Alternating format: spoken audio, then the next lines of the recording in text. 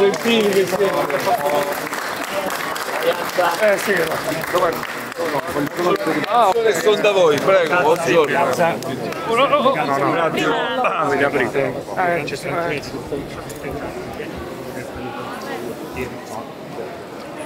Gaza si sta consumando una carneficina senza fine, veramente un orrore e non da ieri, non dovevamo aspettare l'ultimo massacro che è avvenuto sotto i nostri occhi, noi lo stiamo denunciando dall'inizio, ho visto che la Presidente Giorgia Meloni ha fatto un post sull'ultimo avvenimento, però voglio dire, sino adesso ha votato, si è sempre astenuta sulla sul cessate il fuoco. Quindi ritengo ipocrita intervenire solo adesso quando ormai siamo a un numero di civili palestinesi oltre 30.000, di cui il 70% donne e bambini. È veramente un orrore.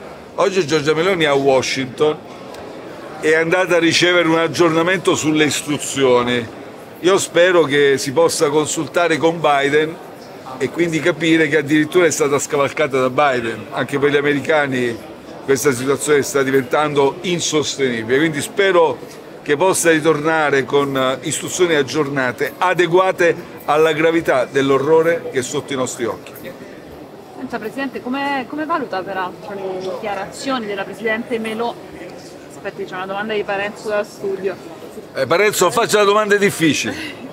David, ti ascolto. Io mi stavo per chiedere come valutava le dichiarazioni della Meloni. Su, Stiamo sul- trasmettendo in diretta le, le immagini del funerale di Navalny, immagini clandestine sostanzialmente perché qui non possono essere trasmesse. a quali dichiarazioni da Meloni vi riferite? No, non vuole commentare le immagini di Navalny? Eh, non le vedo però, attenzione. Sul Navalny noi abbiamo preso una posizione chiara, molto dura. Abbiamo condannato, guardi, io l'ho condannato l'avvelenamento quando ero Presidente del Consiglio, abbiamo subito denunciato l'avvelenamento che aveva subito, è stato, come sapete, ricordate, curato in Germania, abbiamo chiesto che ci fossero tutti gli accertamenti del caso e tutte le responsabilità, come pure abbiamo seguito poi la sua eh, dire, trafila processuale e il fatto che fosse tenuto in eh, un carcere in Siberia e da ultimo abbiamo denunciato quello che è accaduto.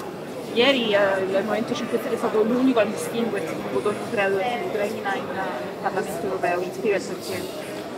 Ma noi non potremmo mai sottoscrivere quello che è scritto nella risoluzione che ieri è stata votata da tutte le forze politiche che sono italiane che sono rappresentate del Parlamento europeo, e cioè che l'obiettivo principale dopo due anni rimane quello di ottenere una vittoria militare sulla Russia.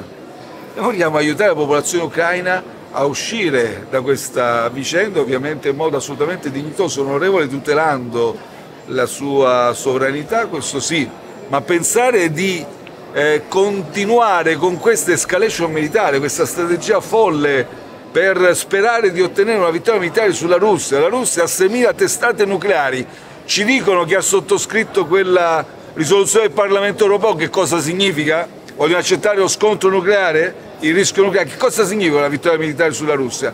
Cosa significa scrivere su quella risoluzione che d'ora in poi ogni Paese membro dell'Unione Europea si impegna a destinare per gli aiuti militari all'Ucraina ogni anno lo 0,25 del PIL? Sono 5 miliardi. Giorgia Meloni si è vantata di aver messo solo 3 miliardi sulla sanità. Secondo lei 5 miliardi diamo all'Ucraina? Ma avete visto qui in Abruzzo, avete visto in Sardegna, avete visto in tutta Italia com'è disastrata la sanità? Il Pentagono, dice che se l'Ucraina perderà sarà la Nato poi a dover combattere contro la Russia, no? Ma è per questo che noi abbiamo chiesto a Draghi, a Meloni, a tutti i nostri governanti, sin dall'inizio, di costruire un, un negoziato di pace. Se non ti siete a un tavolo per trovare una soluzione dove riprende vigore la politica, gli sforzi diplomatici, non abbiamo prospettive. E guardate che più passa il tempo, più perdiamo potere negoziale, perché se il negoziato l'avessimo fatto subito, quando ancora ovviamente avevamo una, la prospettiva che l'Ucraina potesse fare controffensive che poi non si sono rivelate efficaci, noi avremmo avuto più potere negoziale. Ogni giorno che passa, e aspettiamo, figuratevi, quando arriveremo alle elezioni americane in prossimità, noi perdiamo potere negoziale in questo negoziato. A proposito di sanità è stata accolta da una signora che ha gravi problemi di approvvigionamento di farmaci in gravi condizioni di salute, ecco in Abruzzo la sanità è un tema forte.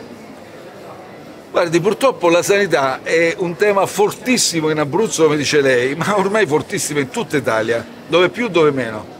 La signora che abbiamo parlato qui un attimo fa ha difficoltà a reperire un farmaco salvavita ma eh, qui abbiamo delle file, possono variare un attimo. Qui per una colonoscopia mi dicono che la media è oltre 400, quasi 450 giorni l'anno, da un'altra parte 500, da un'altra parte 300 giorni, ma siamo ormai a questi livelli. Oggi abbiamo eh, migliaia di eh, cittadini abruzzesi che vanno a curarsi fuori. È una sanità, una sanità disastrata, noi lo stiamo dicendo è per questo che dovevamo trarre lezioni dalla pandemia e purtroppo però la sanità è in mano ai presidenti delle regioni. L'80% del bilancio della sanità è gestito dalle regioni. Uno pensa ancora a livello nazionale, no, è a livello regionale. Ecco perché queste elezioni regionali sono importantissime anche per dare una svolta un segnale vero di attenzione e di concretezza sulla sanità. Presidente, Com'è? Basta l'effetto Sardegna per vincere elezioni. Ma no, guardi, non è questione che l'effetto Sardegna fa vincere il, le nostre forze progressiste in Abruzzo, però sicuramente in Sardegna c'è stato un forte segnale di rinnovamento che i cittadini sardi hanno voluto esprimere. E io confido che anche i cittadini abruzzesi dicano finalmente basta a questo ed esprimano questo malcontento perché la giunta, senza voler offendere nessuno, però la giunta uscente non si è distinta per attenzione ai problemi concreti dei cittadini abruzzesi. Io non lo so perché, se è una questione di incapacità o un fatto oggettivo, che non si può governare una regione in smart working da Roma. Probabilmente sarà anche questo, un fatto oggettivo restituiamo l'Abruzzo agli abruzzesi. Presidente, proprio ieri la Meloni parlando di infrastrutture ha annunciato l'arrivo di 760 milioni di euro per il raddoppio della linea Pescara-Roma. Come commenta? Che io mi sarei vergognato da Presidente del Consiglio a qualche giorno dal voto a rifinanziare un definanziamento che era stato a colpa del governo. Perché mi chiedo, scusate, quando hanno definanziato il PNRR questa, questa linea, la Roma-Pescara, Marsilio che cosa ha fatto? Ha subito uh, uh, supinamente questa, questo definanziamento. Adesso qualche giorno al voto si svegliano e rifinanziano. Peraltro diciamolo ai cittadini abruzzesi, stiamo parlando del finanziamento l'8-1 e l'8-2, quindi non è la Roma Pescara, è la Pescara Chieti. Ma queste cose elettorali, queste prese in giro, i cittadini sono stanchi. Cosa hanno fatto sin qui? Sono 16-17 mesi di governo nazionale e Marsilio sono 5 anni che governa la regione. In Abruzzo è campo largo o campo giusto? Come sempre campo giusto. Grazie. Presidente, Grazie. io le volevo chiedere da... Chiedo per favore. Stiamo in...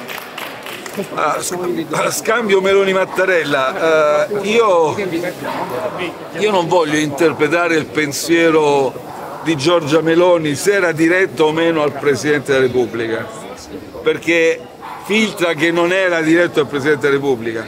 Sicuramente è stata un'espressione molto ambigua, ma quello che voglio dire, quindi dovrà chiarire secondo me, ce l'aveva col Presidente della Repubblica, lo dica chiaramente se ha il coraggio allora lo neghi, perché se in questo momento stanno interpretando così le sue parole, lei ha il dovere di intervenire e dire non ce l'ho col Presidente della Repubblica. Se lascia tutto nell'ambiguità, credo che sia anche vigliacco da parte del Presidente del Consiglio, uno. Due, se fosse un attacco al Presidente della Repubblica sarebbe gravissimo, perché il Presidente della Repubblica, garante dell'unità, ha parlato in modo impeccabile, in modo impeccabile e sono parole risolutive.